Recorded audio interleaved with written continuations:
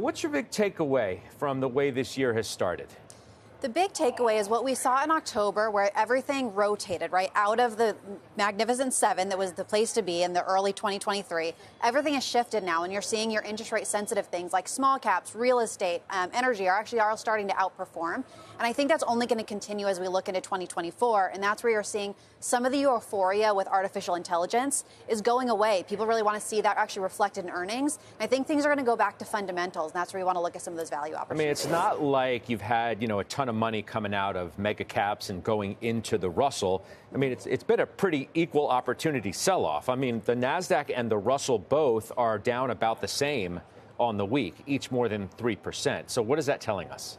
And I don't think we want to too much extrapolate from this one week. I think really, if you go back the last two months, I think that's actually going to show a stronger picture here. And some of that is you're going to get um, people are just taking profits across the board right now because it's kind of interesting. But the um, investor sentiment levels have been overly optimistic.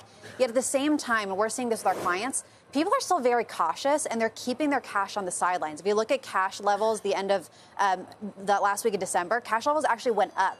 Meaning, even though people are say they're optimistic with the markets, people think the interest rates are coming down they're still keeping their money in cash. I mean, they're not actually ready to get in the markets. They're not actually believing that those money market rates are going to go down. And it's not necessarily we're advising, but you're definitely seeing that right now. But does that mean that, you know, some of that next leg is going to be a bit muted because there's just not enough cash, new money coming in?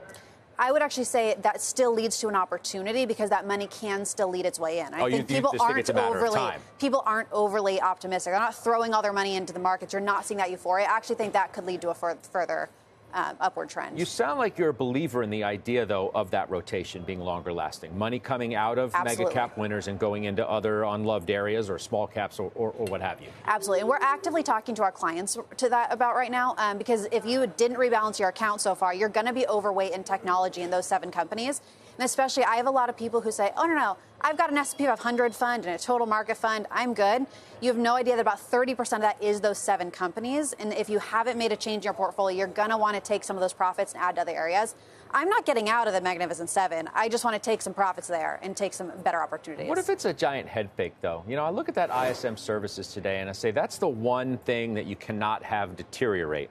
Mm-hmm. This whole notion that, you know, even Janet Yellen, the Treasury Secretary today, said in an interview that the, the, we can describe what we're seeing now as a soft landing, and my hope is that it continues. But what if the economy continues to soften a bit more than it is now? Still stays out of recession, but continues to be a little bit weak. Doesn't that take some of the oomph off of those other more cyclical uh, and small cap areas of the market? Um, not necessarily, because we need the economy to soften to a certain extent so that interest rates do, in fact, come down, right? Expectations are there, but we need a softening for inflation to continue to come down. It's just we don't want to soften so much we go into recession, right? So it's that kind of that perfect scenario that we need to get into. And I think that's what you saw with the jobs numbers today. It was kind of bringing into reality the fact that, yes, the economy is softening, but we still have a really strong labor market. And I think when people are expecting those six to seven rate cuts next year, they're probably getting a little overly optimistic. I think rates are probably still coming down, just maybe not as much as people had gotten excited about in the last two months.